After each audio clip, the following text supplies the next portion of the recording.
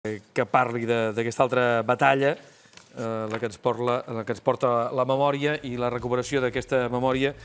Eh, la Teresa Ibarz, escriptora, historiadora i arxivera, acaba de publicar aquest Atlas de l'Oblit, un conjunt de relats eh, breus. Què tal, com estem? Hola. Com estàs? Un petonet. Estàs contenta?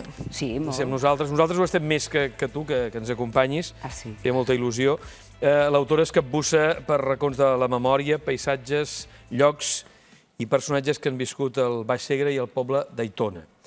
I dediques el llibre eh, als que saben que recordar és existir. Eh? Exactament.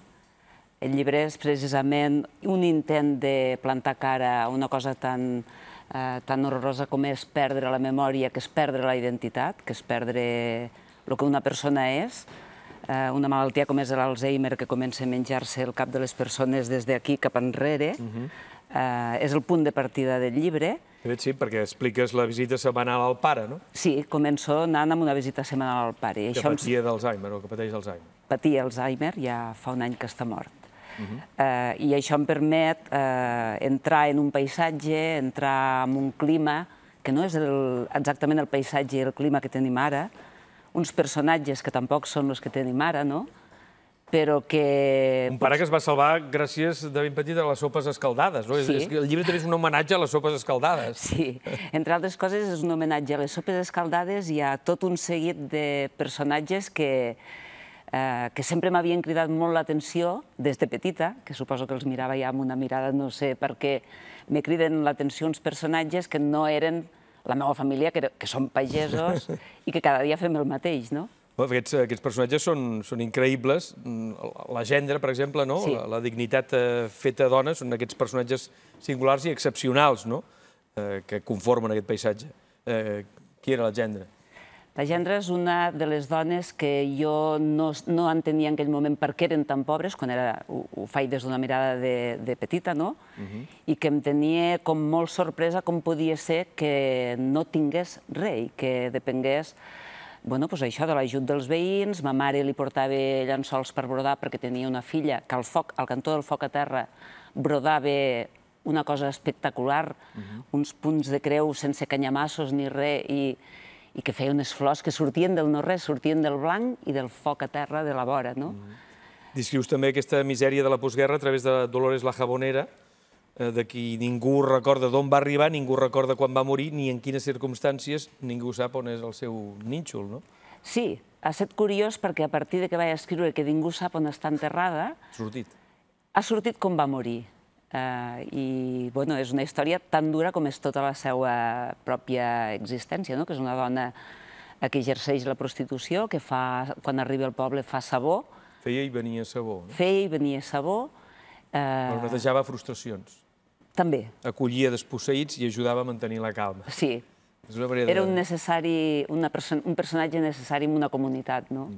Sí. Un altre personatge anomenat Paco de Caldrapaire, ens apropes, en aquest cas, als immigrants que van arribar a Catalunya anys després d'acabada la Guerra Civil, no? Sentint, mm, Descrius la llunyania de les arrels, la nostàlgia i la més que segura enyorança de parents i d'amics, de terres, de costums, que sent tothom a fugir. Sí, exactament.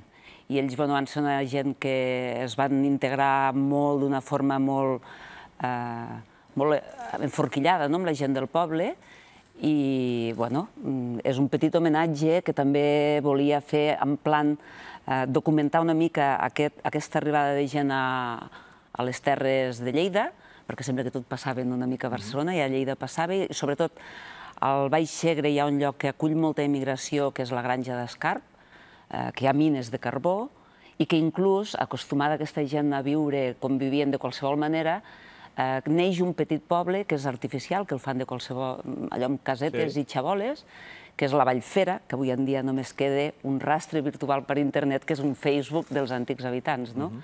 I tota aquesta gent s'adapten perfectament a un territori i, bueno, avui en dia, una mica això que deia el Paco Candel dels altres Sí. catalans, doncs, bueno, ells són els altres eh, habitants del Baix Segre, d'Aitona. Eh, ens acostes també a un fenomen que hem conegut tots els que tenim una certa edat i hem fet vida eh, en un poble, les botigues on es venia literalment de tot, tot. però literalment de tot, no? Sí. Allà eren com... com Precisament eh, aquests, eh, aquests personatges que, dia, que havíem dit ara, de la paradeta, tenien una botiga que va ser posterior, però que tenien de tot. Eh, tenien des de menjar per les gallines, uh -huh. a, els, capità, els còmics del Capitán Trueno, a menjar embotit i... Una espelma, per si s'apaga el llum. Sí, sí, sí, sí. I era codonyat. Codonyat, també. bueno, codonyat jo diria que no massa perquè els pobles en feien molt. Ja en feu. La meva padrina feia el codonyat i el teníem per tot l'any, no? I eren més aviat productes que no es feien, perquè van ser... Bueno, en aquest moment en un moment en què encara no Però és... aquella gelatina de colors, allò ja... Allò de colors era una mica llard, verd, modern, no? Verd, vermell... Sí. Escolta, també descrius les botigues dels primers 60, de l'anomenat desarrollismo, sí. que aquestes semblava que tenien de tot i vist amb els ulls d'avui, doncs eh, oferien ben poc. Oferien ben poc i la prova és que anàvem a comprar una senalla i i ja està, no? I ara, cabia, no? I cabia, i ara anem amb el maletero del cotxe i el carro de la compra i segons com encara ho fas portar a casa perquè no hi cap perquè no hi cap tot, no? Sí. Potser un dels moments de més tendresa del llibre d'aquest Atlas eh, de l'oblit és el relat que dediques a Manolo al convent, un d'aquells personatges fixos en els pobles que, sota l'etiqueta cruel i injusta del tonto del poble, s'hi amagaven malalties desconegudes per tothom. No? En el sí. cas de Manolo patia la síndrome d'X fràgil. Jo diria, diria que devia ser síndrome d'X fràgil, perquè, bueno, pues, eh, tinc amistats que tenen a la família el tema i parlant de com era físicament i dels gestos i de com parlava i de com caminava d'aquella forma capbussant-se capdavant, no?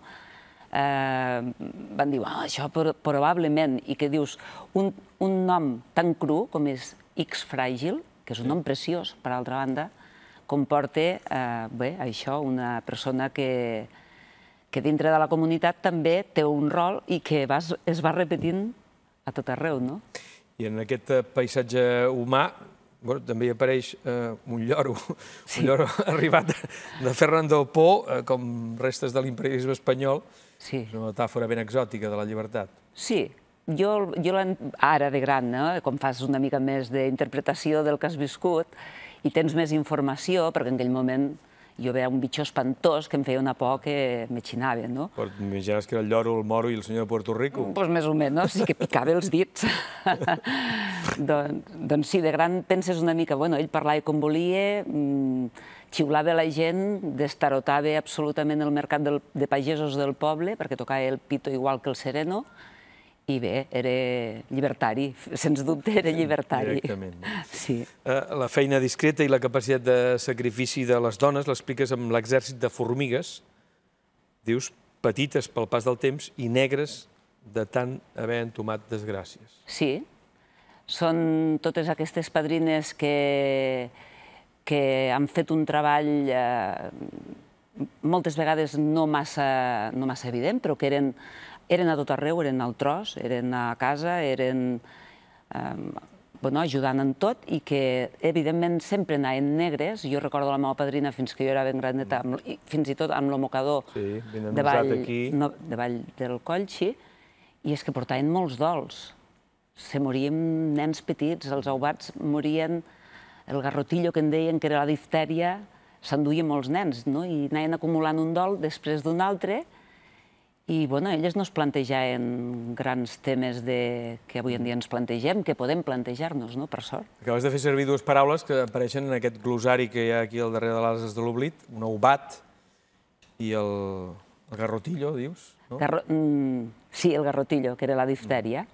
Que apareix també aquí. Has volgut posar algunes d'aquestes paraules Sí. que, que potser no es fan servir tant i ara, no? Jo sí. Tu les fas servir? amb el tema de, la, de les paraules i de... L'ego... Sí, i el- l'angrineta, l'angrineta és preciosa, no? És una oreneta. Sí. Bramadari, Sí, De anar com un bramadari és anar molt cansat, molt estrafegat. Carràs, Un carràs és un... penjoll de raïm. No? Sí, Aitona també sempre pels alls, un carràs d'alls. sí, no? però també pel raïm, pels alls, sí. Ah, sí que ho poso. Sí, sí, ho Raó. poso, ho poso. Farraginal, allò on se sembraven els farratges. Sí. Escolta, um, uh, dèiem això de, de les formigues, de, de, de totes aquestes dones, però hi va haver un, un agent que va modificar paisatges eh, traumàticament, que va ser tot allò que envoltava la droga i els seus estralls. I ho personifiques amb, amb Jordi Lo Chorrero, aquell noi que dius que era, i descrius com infinitament guapo. Infinitament guapo. Però que...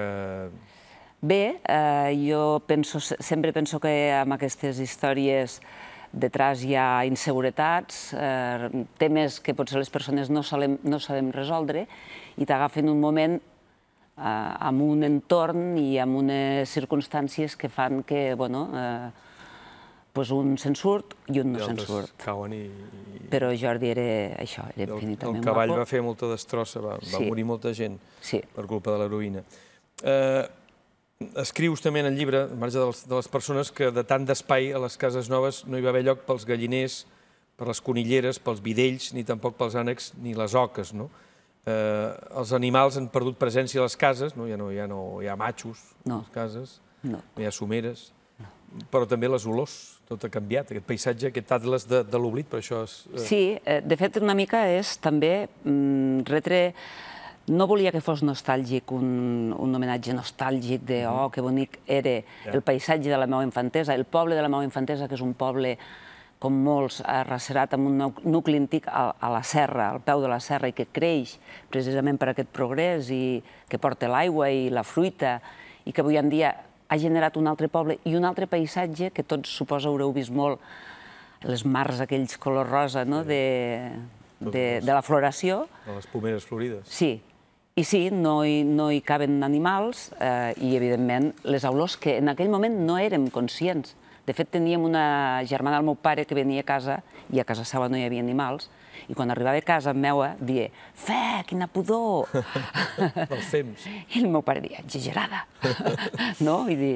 Eh, però l'olor de les mansanes als canyissos sí. es va convertir, escrius, en una aroma perduda amb el present que era producte de, del futur. Del futur, sí. Acabes el llibre fent un balanç del que ha estat el teu exercici de reconstruir el passat. Dius, ja no queda res ni ningú. Eh? Solament fragments apilats en racons íntims que s'hereten i es lleguen. Mm. Solament això. D'allò sí. D'allò queda només aquests, aquestes pinzellades que no, que no vull oblidar i que, a més, eh, voldria afegir que molta gent que ha llegit el llibre m'han dit que precisament aquestes, eh, aquests records que, uh mhm. -huh. que, que, que he expressat li han evocat molts altres seus. De personals. Sí, personals i gent que són potser de Barcelona, no? O uh mhm. -huh. de Vilaseca, o de llum siguin, no?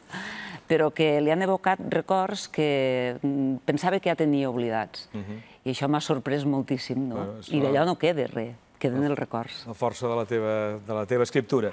Bé. Moltes gràcies, eh, Teresa, gràcies per acompanyar-nos i per, per haver-nos eh, haver vingut a presentar aquest Atlas eh, de l'oblit de, de Teresa Ibars, eh, un llibre que, lògicament, eh, recomanem de manera encesa i viva.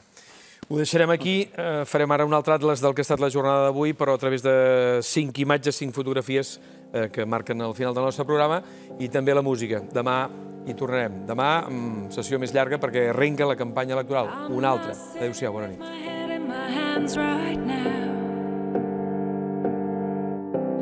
I don't care been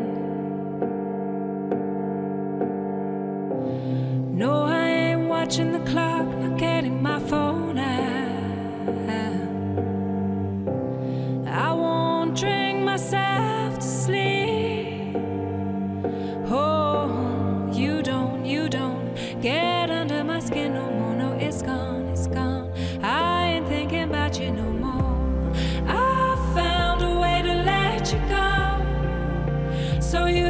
don't have